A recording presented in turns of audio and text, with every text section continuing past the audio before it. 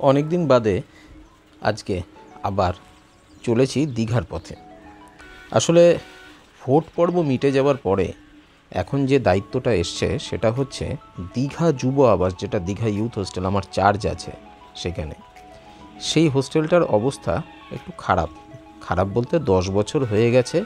Saline ওয়েদারে একটা বিল্ডিংয়ের যা অবস্থা হয় তাই।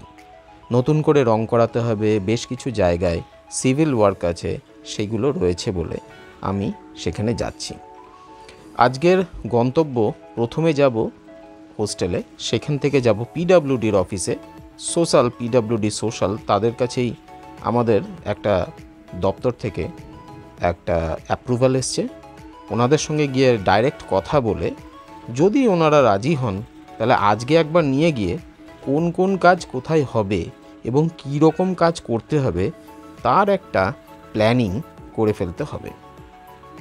আশা করি অফিসের ওনারা থাকবেন, কারণ ওনারা অনেক সময় বাইরে বেরিয়ে যান বিভিন্ন কাজের জন্য। কারণ বিভিন্ন জায়গাতেই ওনাদের এই কাজ চলে এবং ওনাদেরকে সেগুলো গিয়ে দেখে আসতে হয় মানে লুক আফটার করতে হয়। সেই জন্য আশা করছি ওনারা থাকবেন। যদি থাকেন, তাহলে আমার কাজটা সফল হবে। যদি না থাকেন, আবার টার্গেট করে আবার যেতে হবে। বেশ ভালো লাগছিল, কারণ অনেক দিন বাদে এই সুযোগটা পেয়েছি। এই কদিন এই ভোট ভোট করে না শুধুমাত্র এই ইলেকশনের কাজ করতে করতে একই রকমের কাজ রোজ রোজ করে, আর সেই সকাল ছটা থেকে রাত্রি দশটা কোনো দিন এগারোটা কোনো দিন সাড়ে নটা, এইভাবে প্রতিদিন শনি রবিরও কোনো ছুটি ছিল না। অন্তত এই সময় আমাদের নির্দিষ্ট কাজগুলোই শুধু আমাদেরকে করতে হবে। আজকে দুটোর সময় অফিস ছুটি হয়ে গেছে, কিন্তু আমার বেরোতে একটু দেরি হয়ে গেছিল। তার কারণ কিছু কাজ ছিল, কিছু চিঠি লেখা, আর দু একজন আসবে যাদের সঙ্গে কথা বলার ছিল, সেটা বলে নিয়ে বেরোতে বেরোতে টাইম লেগে গেছিল। একটা জিনিস বেরিয়ে অবাক হলাম, সেটা হচ্ছে রাস্তায় কেউ নেই। জামাই ষষ্ঠীর আনন্দে বোধহয় রাস্তায় লোকই বেরোচ্ছে না। আর যারা বেরিয়েছিল, তারা ঘরে ঢুকে গেছে। অথচ খুব যে গরম ছিল তা নয়। রাস্তায় এই জায়গাটা হচ্ছে আমাদের সরকারি যে হাসপাতাল আছে, সেই হাসপাতালের আউটডোর এখানে কেউ নেই। অবাক লাগল। এই রাস্তাটা হচ্ছে স্কুল বাজারের রাস্তা। এখানে ডাক্তার দেখাতে বিভিন্ন জায়গা থেকে লোক এসে থাকে। কিন্তু প্রত্যেকটা ওষুধের দোকানের শাটার নামানো ছিল। এই সময় এই দোকানগুলো সব খোলা থাকে। আজকে কোনো দোকান খোলা নেই। ডাক্তারবাবুরাও খুব বেশি এখানে কাউকে দেখতে পেলাম না। সব দোকান বন্ধ। দেখে অনেকটা মনে হচ্ছে যেন কারফিউ ডিক্লেয়ার করা হয়েছে। জামাই ষষ্ঠী উপলক্ষে এইভাবে সব দোকানপাট বন্ধ এবং ডাক্তারবাবুরাও নেই, রাস্তায় কেউ নেই, এরকম কিন্তু এর আগে কখনো দেখিনি।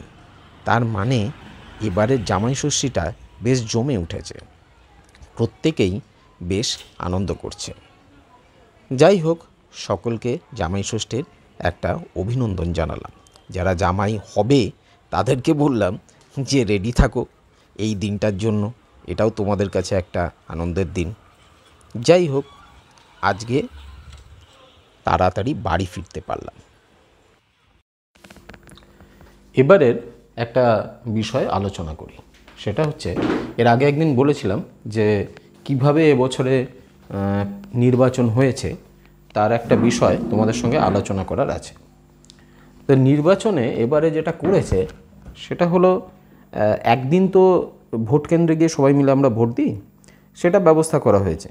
কিন্তু তাছাড়াও একটা অদ্ভুত ভোটের ব্যবস্থা ছিল। সেটা হচ্ছে পঁচাশি বছরের উপরে যাদের বয়স, আর যারা হ্যান্ডিক্যাপ্ট মানে পিডাব্লিউডি তাদের বাড়ি গিয়ে ভোট নেওয়া হয়েছিল। এটাই কোনো কোনো জায়গায় খুব রিজিডলি এবং খুব মেটিকুলাসলি হয়েছে। আবার কোনো কোনো জায়গায় গিয়ে দেখলাম, কেন বলতে চাইছি এটা? তার কারণ আমি যখন আমার যেখানে বাড়ি, সেখানে গিয়ে দেখি, সেখানে দেখলাম এত কড়াকড়ি, এত নিয়ম কানুন নেই। কেন নেই জানি না। এমনকি ভোট কেন্দ্রে ভোট দিতে যারা যাচ্ছে, তারা দেখলাম মোবাইলটা চালাতে চালাতেই যাচ্ছে। তখন ওই যারা ওখানে সিকিউরিটি পার্সোনাল আছে, তারা বলছেন অ্যাটলিস্ট মোবাইলটা বাইরে রেখে ভিতরে ঢুকুন। মানে নইলে তারা মোবাইলটা ভিতরেই নিয়ে যেত ভোট কেন্দ্রে, ঠিক আছে? এবং তাদের মানে হাব ভাব বা এসব দেখে যেটা মনে হলো যে এটাই নিয়ম। ভোট কেন্দ্রে মোবাইল নিয়ে যাওয়াটাই নিয়ম। আর তারা ওটা ছাড়া বাঁচবে না আর কি। ঠিক আছে? ভোট কেন্দ্রের যে একটা নিয়ম আছে, সেই নিয়মটা খুব একটা দেখলাম না। অথচ আমাদের এখানে এই নিয়মগুলো খুব কড়াকড়ি করে পালন করা হয়, এটা আমি দেখেছি। যাই হোক আর একটা বিষয় হচ্ছে, এই দুটো যে আমি বিষয় বললাম, একটা হচ্ছে পিডাব্লিউডি আর একটা হচ্ছে পঁচাশির ঊর্ধ্বে যারা বয়স, এই দুটো ছাড়া আর একটা বিষয় কিন্তু ছিল, সেটা হচ্ছে যারা আমরা ভোট করাতে যাব মানে যারা পোলিং পার্সোনেল তাদের ভোটের জন্য ব্যবস্থা ছিল। আর একটা হলো, যারা পোলিং পার্সোনেল বাদ দিয়ে আমাদের মতো যে তিন মাস ধরে ভোটের কাজকর্ম কীভাবে হবে, না হবে, তার সঙ্গে যুক্ত, তাদের জন্য একটা ভোটের ব্যবস্থা।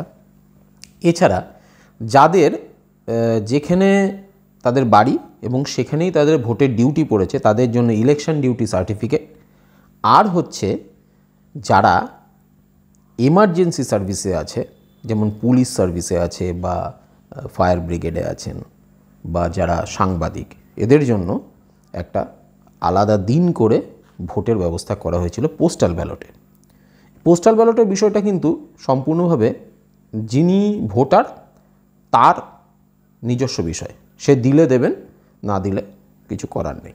তার জন্য ফর্ম আছে, তার জন্য আলাদা আলাদা সিস্টেম আছে। আমাদের ওই ভোট যেমন ব্যালট দেওয়া হয়েছে, সেই ব্যালটটা হয়ে যাওয়ার পরে সেটাকে জায়গা মতো প্রিজার্ভ করা এবং তার সঙ্গে সঙ্গে এই যে তারা ব্যালট কত ব্যালট আমরা দিয়েছি, কত ব্যালটে ভোট উঠেছে, এর হিসাব সব ইলেকশন কমিশন আমাদের কাছ থেকে নিয়েছে।